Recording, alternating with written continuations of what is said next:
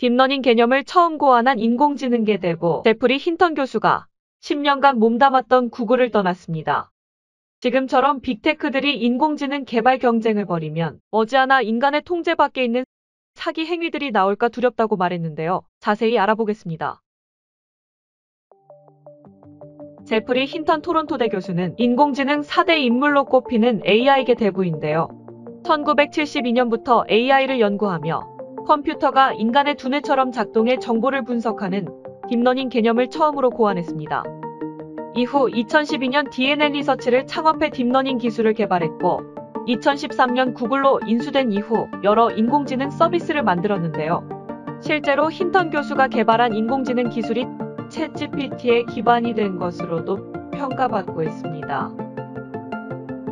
하지만 힌턴 교수는 구글 퇴직 사실을 밝힌 뒤 평생을 바친 AI 연구를 후회한다고 말했는데요. 그는 AI가 만든 가짜 사진과 동영상, 글이 넘쳐나 사람들이 더는 무엇이 진실인지 알 수 없게 될 것이라고 말했습니다. 특히 그는 한국의 한 인터넷 방송인을 예로 들며 인공지능 시스템이 한 개인의 탐욕만을 위해 사용될 경우 매우 끔찍한 결과가 현실화될 수도 있다고 평가했는데요.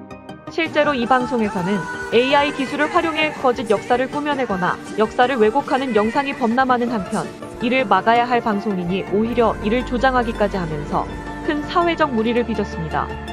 아, 음. 이렇게 원곡을 하면 누가 뭐라 그러냐고, 응? 이렇게 원래 영상 오면 내가 뭐라고 안 하지, 응? 응. 힌턴 교수는 인터넷 방송을 활용한 역사 왜곡에 대한 글로벌 규제가 반드시 필요하다며 AI를 활용해 시청자들을 현혹시키고 속이는 것이 이득을 규탄하였고 해당 방송인은 논란 끝에 사과와 함께 자숙을 선택하고 활동을 중단했습니다.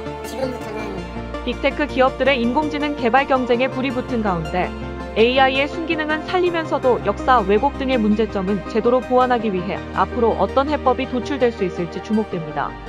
사이언스 뭉탱이 뉴스였습니다. 出 来